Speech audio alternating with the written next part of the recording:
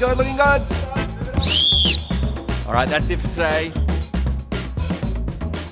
Hi. So there's a lot of digital socialization going on here. Yeah, just sharing photos from our friend's birthday party on the weekend. Can I see? You know, I've got a few photos myself from my last fishing trip down the coast, you know? Get a group chat going for training, maybe share some photos. No? Um, have you read this? Do's and don'ts.